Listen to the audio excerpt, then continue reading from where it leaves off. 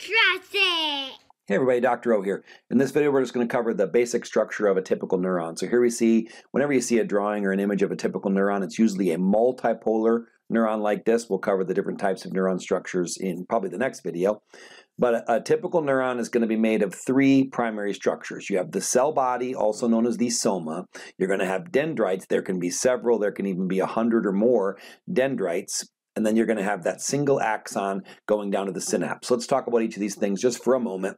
So the cell body is going to be, you know, the, the, where all the cell organelles and these types of things are going to be. The genetic information for the cell is going to be there. It's going to it's going to help keep and maintain the structure of this neuron, and it's also where the energy is produced that's going to drive all these other activities that are occurring at a neuron. So that's the primary function of a cell body. Now, one organelle you won't see in a cell body that you'll see in most cells or many cells is you won't see centrioles at least in, in most neurons. There are some that are believed to be able to divide, but neurons don't have centrioles typically, which means they can't divide. When when a neuron dies, then it's either gone or needs to be replaced by some sort of a stem cell.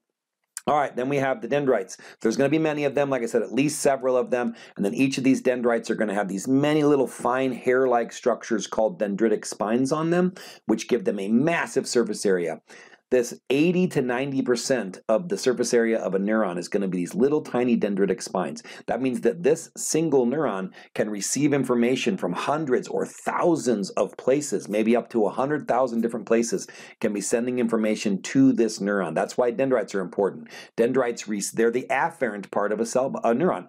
They receive the information that travels to the cell body. Then when the cell body needs to act, the efferent part of this, of this neuron will be this single axon axon.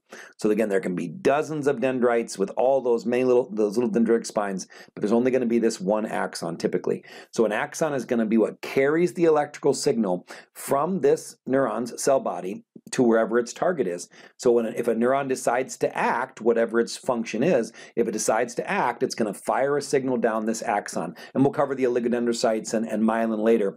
But this axon is carrying this information down to the end. At the end of that axon, you see how it branches, excuse me, the branches off a single axon are called collaterals. And then at the end, at the tail end, I got a better picture here. Uh, you have what are called telodendria as they branch even more. And then you have the synapse. So the synapse is going to be the, the most the critical area where one neuron communicates with either another neuron or a muscle or whatever, whatever it's going to be controlling. So the synapse is going to be how the electrical signal from this neuron is turned into a chemical signal that can then cause a muscle to contract, a, gl a gland to do, do something, etc., etc. Okay, so you have the cell body, the single axon that, that, carries information away from the cell body, the, the, the dendrites that carry information towards the cell body, and the synapse is the site of this chemical communication. All right, that's the basics of a neuron. I hope this helps. Have a wonderful day. Be blessed.